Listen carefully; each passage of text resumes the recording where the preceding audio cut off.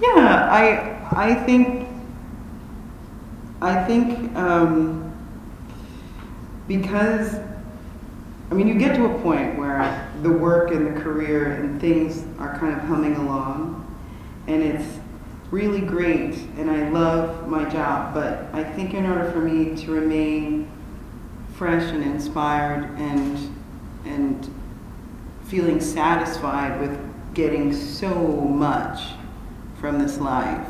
I need to be balancing that with, um, you know, lending my voice to those who have none. And uh, I don't know. I'm not perfect, so it does make me feel quite good. You know, when I, you know, go off on a friend or arrive late or just, you know, stupid stuff that everybody deals with in their lives, their shortcomings, their weaknesses, their, you know, their character flaws. I think it goes a long way to helping me deal with some of those. Mm-hmm. You know, that's what giving does. It, in turn, it feeds you. It's actually quite selfish. Now you've, you've, you've, it, sometimes it feels like you've made a point since your surgery in June to not cover up your chest. Oh no. Um, your sternum is, is there for all to see. Yeah. Oh, it's just a part of me now. It's just as much a part of me now as it was then. So I'm not gonna go out and buy a whole new wardrobe as much as I would like.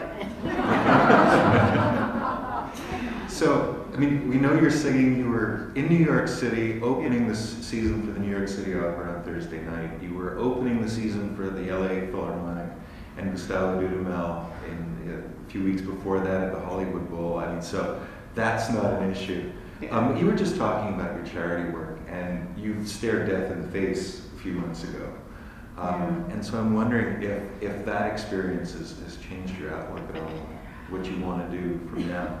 Well, I mean, when I visited Uganda for the first time in the north, we had to drive really fast on the dirt roads so that we wouldn't be shot down by the rebels. So staring death in the face, like it's kind of like it's if it's your time, it's your time. I mean, there's not much you can do about it. I mean, I'm not apathetic and I'm not like lackadaisical about living life, and I'm certainly not cavalier. I just think that when it's your time, it's your time.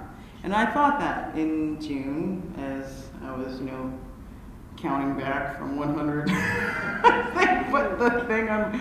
Ugh. I was thinking, well, at least nobody can accuse me of being lazy. you know, at least nobody can say, ugh, it's a shame she didn't use what she had. You know, I, I felt very satisfied. And I also, as a Christian, believe that the next life is better anyway. So, um, I, I have, I mean, I have stuff to do. I mean, honestly, I have stuff that I want to do. It's not that I, I think I thought, well, if I if I never have to learn another Berg score. You've just been learning some, haven't you? Oh my goodness, I'm doing the Berg Sieben frühe Lieder next month in Miami, I'm like, who said yes to this? Who decided this was the way to go? Because the last time I learned Berg, I was sitting in front of my piano crying. I was like, I can't hear it. I don't know what's going on. It's like, mm. you know, and you're like, but that's, and then of course I love it. You know, and then I learn it, and I'm like, oh, the best music ever. and then I'm like, oh, yeah. And I go back for more. Anyway, so the thing is, I just, what was the question?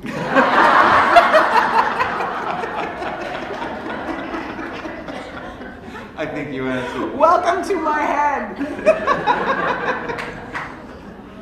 yeah, just in case you're getting the wrong idea about Measha, who's kind of sitting back and just talking. Um, two weeks, two weeks after your surgery, she had to be held back. I, I was talking to people at, at, at, Stratford Festival who she was supposed to sing at, the, at a special night at Stratford last summer.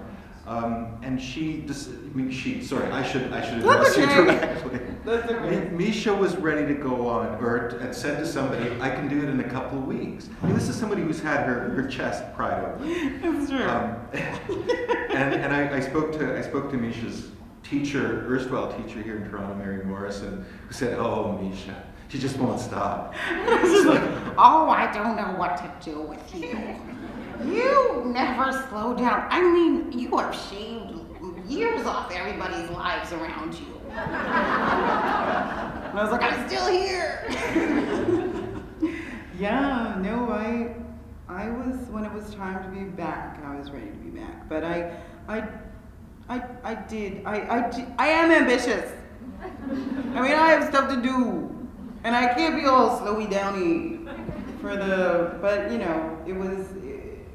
I had six week six weeks off in the summer anyway, so I so I, I was like, oh well, okay, it's a little early, but um, so I had to cancel the TSO performances, and then I had to cancel which uh, the TSO that hurt. That hurt. That was that was that cut like a knife, and and then I had to um, also cancel Porgy and Bess at the Styriarte Festival with Nikolaus Harnoncourt, and I don't know when Nikolaus is going to direct and Bess again. It may be a once in a lifetime thing, so whatever. But I don't believe in once in a lifetime things. So thing is, these things had to be canceled, but then I had the six weeks off. So the blessing of not going to do the Styriarte Festival with Harnoncourt was that I could go see my friend Julie get married in Fredericton, because that that was something that I'd had to give up, and that really, really, really hurt me. So the first time I sang was on July 4th, and it was horrible. It was, oh, oh, it hurt. I, that was the first time that I actually thought, well, this was kind of a serious thing. Because up until that point, I, I had kind of thought, well, I still feel like me, still is me, until I got up to sing and realized how hard it actually is. Because it wasn't my body anymore. I lost a lot of muscle, lost a lot of weight, worst diet ever. and I still could feel the sternum kind of cracking a bit, you know, just it was still solidifying itself. And every time I took a deep breath, I felt lightheaded. And I'd only picked like a two page piece. Like I was like, I just want to show up, give him the gift, and, you know, and I couldn't, I mean, oh, it was, it was so painful. And it was kind of then that I thought, well, maybe I should take a couple more weeks. maybe I should, uh, you know, just take it easy. And I, yeah, I, I don't know. I still don't have that much perspective on it because I'm the type of person who will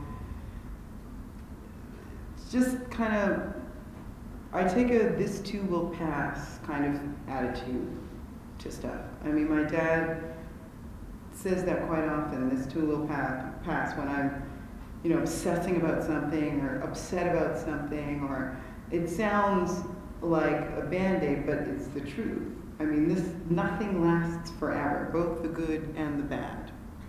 And, um, and I, I just, I had to get a little zen and the art of recovery from heart surgery about it. Because I, I had hoped it would just go away. Because it's something that I didn't really want to dwell on. You know, because I hate appearing weak. I hate that. I just kind of think because I am constantly in the position of being responsible for people's money, because people pay to see me sing, so I feel responsible to them. So it's very difficult to show any kind of vulnerability because you don't want them to think that their money was wasted. So when it comes to my job, I really am the one responsible for your good time. And I will never let you down.